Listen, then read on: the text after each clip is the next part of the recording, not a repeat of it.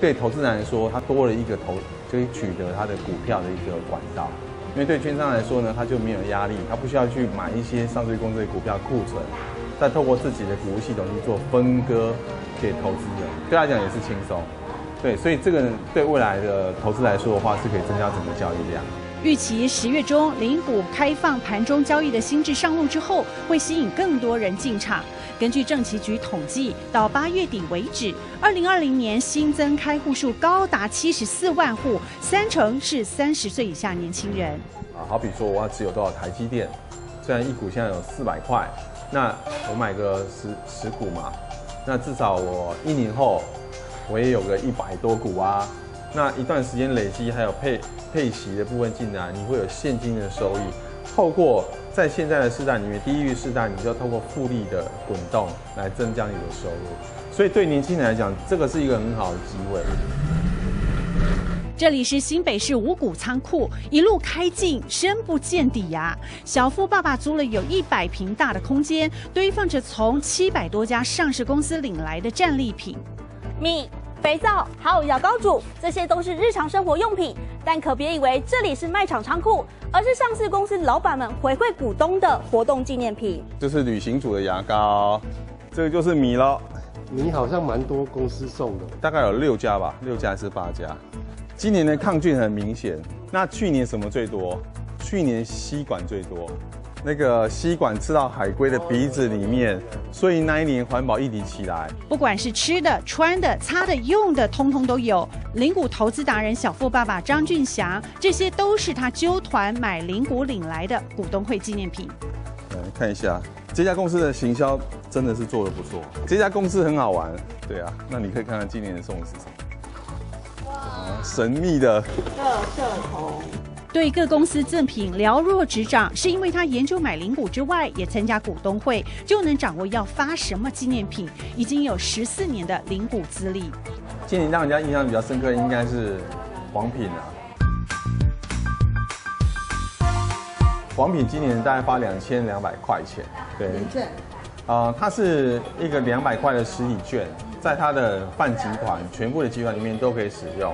别以为小富爸爸是财经背景出身，他念的是东南科大土木系，曾在外商银行一路从房贷专员做到乡里，之后他自立门户，代表债务人跟银行做债务协商。最主要是我们遇到真正很可怜的人，他们可能因为下顿饭真的都不知道在哪里，所以呢才会有这个活动的开始。但那时候就觉得说，你可以去买一下上市公司的一股的股票啊。那因为上市公司有些老板，他们蛮喜欢热心助人的，他们会赞助你。他注意到买零股，一股可能不到十元，就能够换得米、卫生纸等民生用品，能改善债务人的生活。但是呢，不见得每个人都能接受。一开始其实债务人会觉得回回应我的是。啊，我都已经没钱了，我连买那个股票钱都没有。后来他索性从身边亲友揪团，每个人花两万块买股，当五百家公司的小股东，一家买一股，靠这些赠品，一年至少省下约两千元的生活用品费。但光临纪念品更是大工程啊！因为领啊股东会纪念品的时候，是你你必须要拿着委托书到每个现场。对，全省哦，从北一直到高雄，我们当时全省的各地方代表大概有一百个人，那我们必须把单子交在手上，然后提醒他们明天记得要去领。所以那时候我简直是像疯狂快递一样，投入带领八年来，也号召了上千人的会员。他建立一套获利系统，用以物换物的方式，投报率约十趴到二十五趴。你就去买了上市公司，你就成为了这些股东。那你就会有，你就会取得一个叫我们叫虚拟点数，叫 Bitcoin。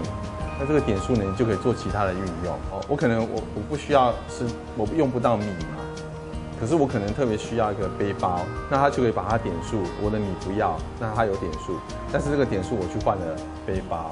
看准零股时代的新商机，小富爸爸也打造出崭新的商业模式，但买零股要注意这一点。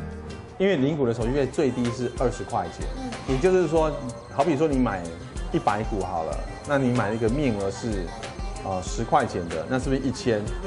你等于是不是花一千？可是你手续费是二十块，这个的成本真的会比较偏高。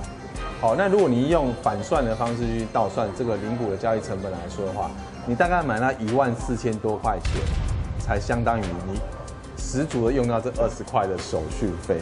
借由存零股省去买生活物资的费用，还可能帮自己加薪，但也提醒投资的股票得审慎评估风险。除了这个存股的计划之外，其实你还是要做一点风险的控管。那风险的部分呢，比如说你就可以买反向的，叫做 mix。透过他们分享的领股策略，从一万三千点居高指数下，给观众一个参考，但也提醒决定进场前要多做功课，找寻符合值利率的价位进场，有保护资金的功能，让每块钱都。